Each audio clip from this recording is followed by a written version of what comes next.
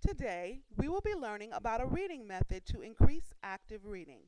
The method is called SQ3R. I know that it may have a weird name, but is actually quite useful for reading academic texts and can even assist you with studying. Let's begin.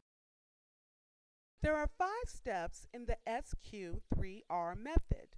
They are survey, question, read, recite, and review.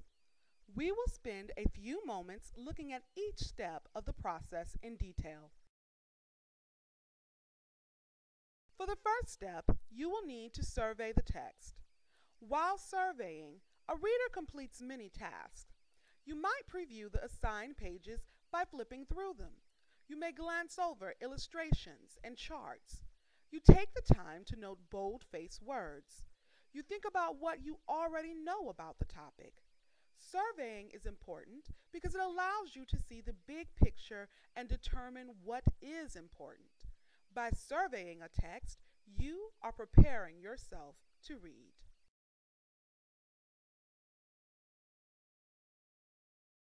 Secondly, you will need to ask yourself questions. You have a few choices in this step. If your textbook has questions, you can use those to help guide your reading. If not, you will need to create five or six questions on your own.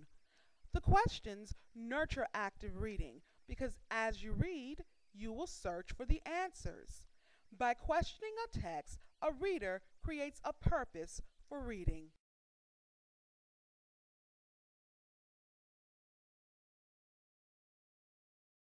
You might be wondering how to create good guiding questions. Here's a helpful hint. Look at your bold-faced section headings and turn them into questions using who, what, when, where, why, and how. These question stems allow a reader to focus and delve deeply into a reading.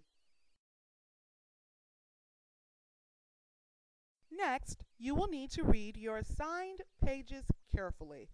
Remember, reading is not a race. Take your time and move at your own pace. As you read, search for your answers to your guiding questions. If you have a longer reading passage, create a plan to chunk your text into manageable sections. You might even want to mark your text by circling words and highlighting important information. Marking a text allows the reader to stay engaged. A reader can create their own marking system using symbols. For example, I use several symbols when I read. I use a question mark to denote questions.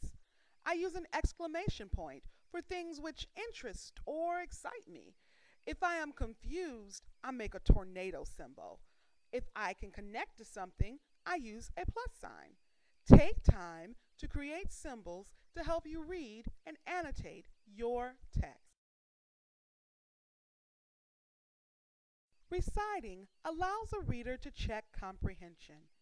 To recite, a reader needs to summarize the information and put it into their own words.